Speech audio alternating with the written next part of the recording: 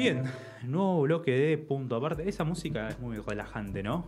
Como que escuchamos ahí como que todo se podría distender un poquito más. Está como para... Euge la vemos ahí tranquila, relajada. la Ah, me voy a sacar esto para hacer la Se va a columna. sacar ese barbijo solamente para, para hacer la columna, porque puede y porque quiere. Pero por sobre todas las cosas, mira, Yori, yo sé que a vos te gusta mucho la columna de Cinebar por dos cuestiones. Primero, porque la hace Euge, que ya de por sí tiene su encanto extra. Y segundo, porque trae recomendaciones para todos los gustos. Mira, hacemos un repaso. Trajo Love Life, una serie como la misma ella decía.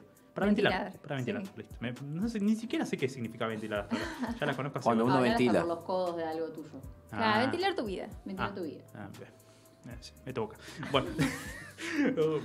Space Jam, Freaks, clásicos, de todo. Y hoy, mira, Euge trae un título que, te voy a ser sincero, anoche la quería ver Sí. para traer la tarea, pero Euge dijo, voy a hablar de...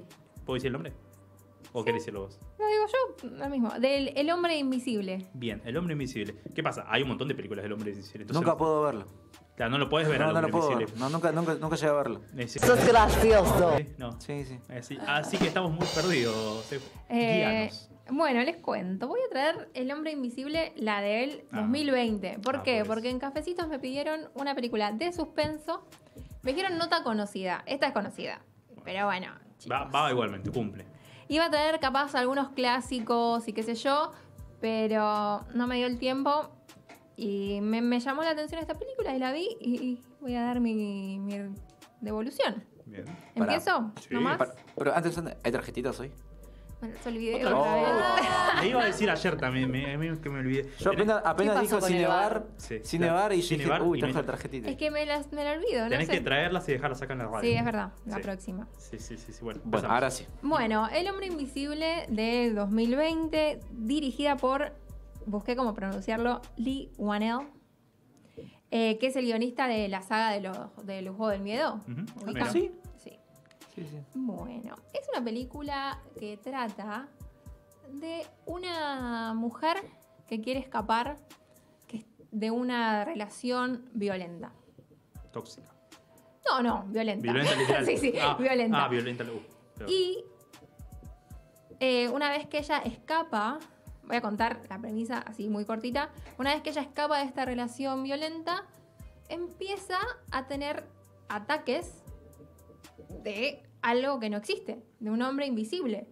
Y todos dicen, no, querida, estás mal de la cabeza, no te está pasando nada, te estás inventando todo. Y bueno, y ahí se va desarrollando la película. Eh, la película está protagonizada por Elizabeth Moss, eh, más La- conocida La por de- Peggy Sí. de Mad Men o eh, la de The Handmaid's Tale, también la protagonista. La rubia. La, la de Mad Men. Peggy, Sí, Peggy. la chica de Mad Men. sí. La que empieza como secretaria, después es Claro. Lo- lo. Elizabeth Moss, una gran actriz, la verdad, una locura, que básicamente es ella la película. ¿Por qué? Es la primera vez eh, en la historia de El Hombre Invisible, que es un personaje ya bastante conocido, y en la historia de cualquier película así de, terror suspenso, de, de- de así de monstruos, por decirlo de alguna manera, que la película se cuenta desde la perspectiva de la víctima. Porque vos ves la cara de ella todo el tiempo y lo que actúa esa mujer es La una locura. Ahora, hablando más de la película, después me voy a meter más con los detalles, las, las curiosidades. Las tarjetas. Las eugedatos. Vale.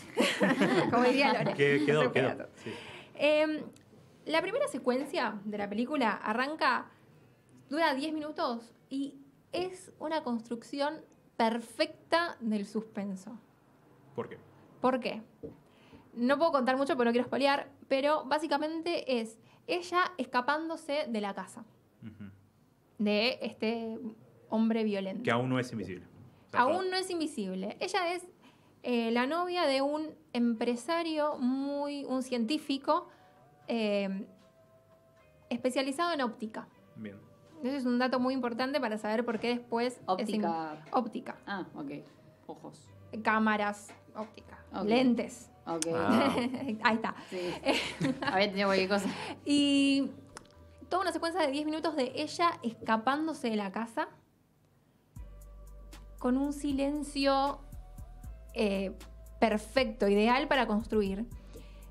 Y todo oscuro, con mucho cuidado de no despertarlo al novio, todo, o sea, una construcción perfecta de lo que va a ser la película. Y me parece que eso es a destacar, eso es un, puntito para arriba, Bien. porque va construyendo de a poco toda una sensación de suspenso. Algo que se menciona mucho y que acá seguramente vas a coincidir es que, viste que se dice que los silencios nunca son malos. En algunos casos, cuando están bien utilizados, son buenos. En este caso me mencionas que al principio hay mucho silencio Sí. y no tiene por qué ser malo. No, pero es para construir Claro. ese clima de uy, ¿qué pasa? Y lo de tensión. encima, lo logra. Porque hay algo, esta película, el director dijo que se inspiró mucho en clásicos de Hitchcock, que es el rey del suspenso, que hay como una regla de Hitchcock que decía lo siguiente, ¿no? Vamos a poner un ejemplo. A ver. Si vos en una película tenés a dos personas hablando eh, en un- una mesa, Sí. ¿no? Y de repente, ¡pum!, explota la mesa. ¿No? Ahí que ganas. Tenés como un momento de sorpresa en el espectador. Pero, en cambio, si vos mostrás que abajo hay una bomba, pero que los personajes No saben. no saben, Ah, y vas mostrando la bomba y los personajes, bomba y personajes, va generando tensión en el Mm. espectador porque no sabes qué va a pasar y los personajes tampoco saben. Y eso es lo que, como la teoría de Hitchcock. muy bueno. Uh, es la vos podés ganar cinco minutos de suspenso y, y tensión o un minuto de sorpresa en el espectador. Eso me parece bastante bien con- construido porque hace que el espectador hable. La clase que habla, por ejemplo, ¿no ves que hay una bomba? Mirá, dale, mirá abajo, no Claro, hay una vos bomba. ahí. Baja un poquito la miradita, ¿viste? Y, y esta película eh, se nota que está inspirada en Hitchcock porque hace esa construcción de suspenso muy bien.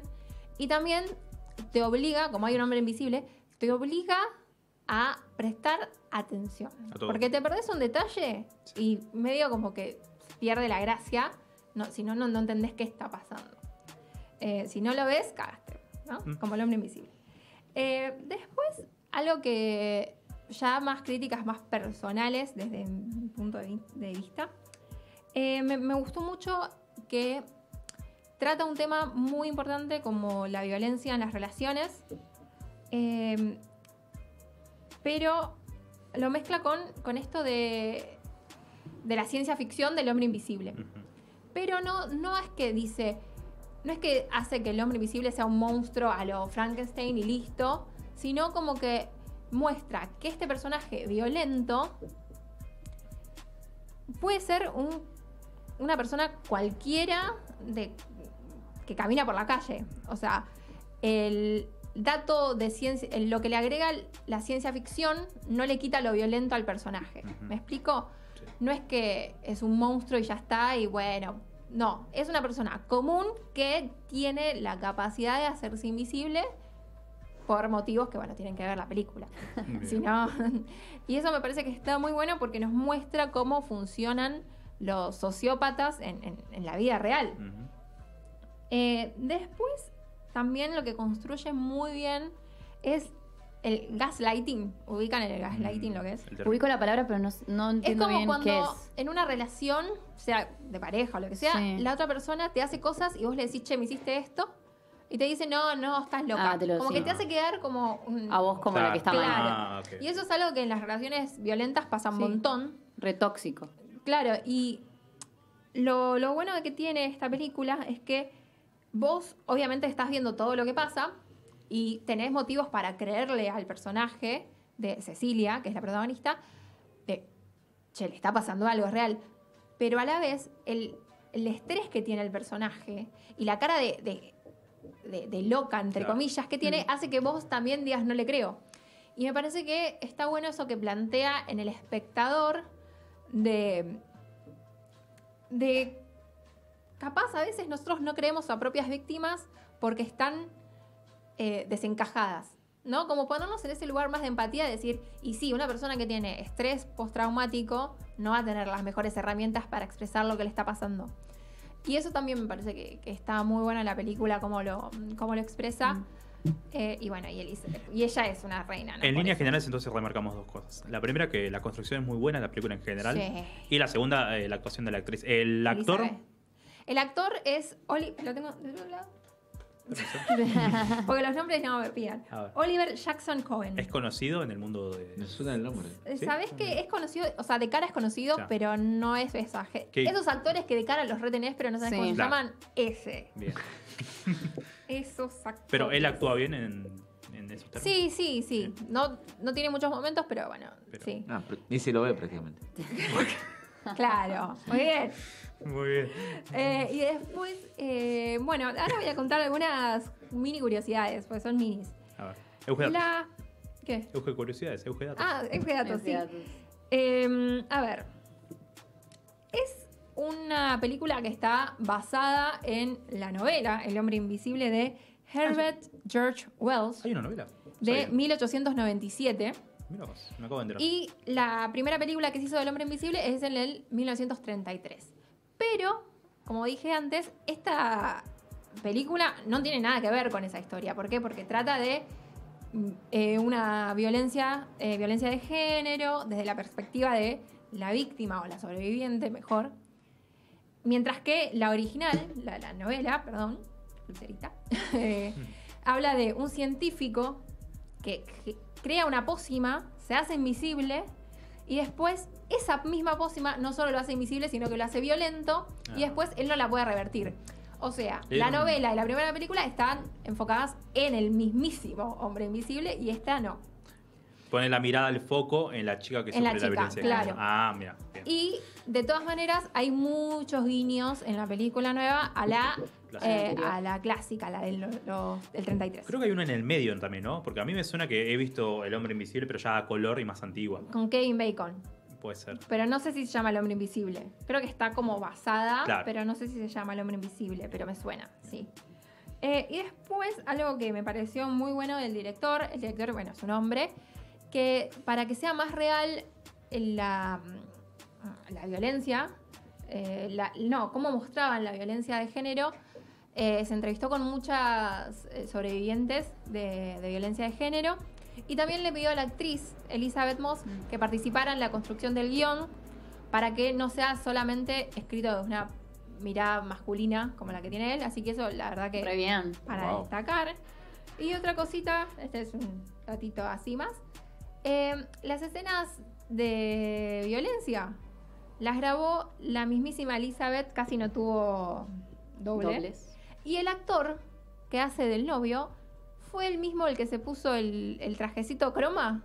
Se lo calzó el actor, no es otro. Uy, no es un especialista Era él. en croma, Sí. era el, el mismísimo.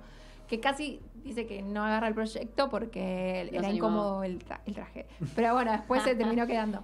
Eh, así que es eso, no, no puedo contar mucho porque si cuento mucho... eh, no- Claro. Lo espoleas. Pero tengo algo que es clave. A ver. El final Es- para revolear el poncho también. ¿Otra vez? Otra vez. Me gustan esa, esa, es- cuando Ese- ese tipo de películas. Ese tipo de finales, sí, sí. Sí. sí, Van sí, a gusta. revolear el poncho y eh, hay un subgénero, bueno, no es un subgénero real, pero mm, que son las películas que se llaman, que terminan con Good for Her, como Ah, sí.